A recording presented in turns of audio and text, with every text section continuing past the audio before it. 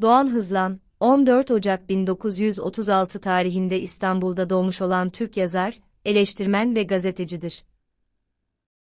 İstanbul Üniversitesi Edebiyat Fakültesi Felsefe bölümünden mezun olduktan sonra çeşitli gazete ve dergilerde edebiyat eleştirileri yapmaya başlamıştır.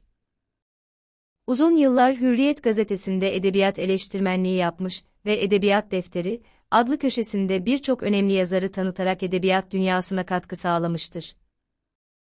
Aynı zamanda yazar ve şair olan Doğan Hızlan, Son Kuşlar ve Denizin Gözleri gibi kitaplarıyla da edebiyat severlerin ilgisini çekmiştir. Türk edebiyatının önemli isimlerinden biri olan Doğan Hızlan, eleştiri yazıları ve eserleriyle Türk edebiyatının gelişimine katkıda bulunmuştur.